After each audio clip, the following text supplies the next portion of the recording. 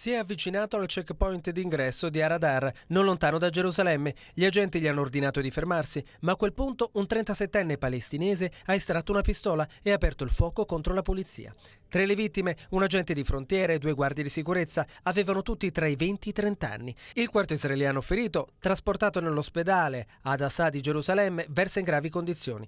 L'autore dell'attacco, che è stato poi colpito e ucciso, era padre di quattro figli e proveniva dal villaggio palestinese di Beit Surik non aveva precedenti di sicurezza e portava con sé un permesso di lavoro per entrare nell'insediamento, fatto inusuale, fa notare il quotidiano israeliano Haaretz, una nuova ferita in Terra Santa destinata dunque a far salire la tensione. Il premier Netanyahu ha accusato l'autorità nazionale palestinese di aver sobbillato l'attacco e ha annunciato la casa dell'attentatore sarà demolita. Secondo il portavoce di Hamas, Azam Qassam, l'attacco terroristico è un nuovo capitolo dell'intifada che colpisce Gerusalemme. Intanto l'esercito ha subito isolato il villaggio. Fino a nuovo ordine gli abitanti potranno uscire soltanto per motivi umanitari.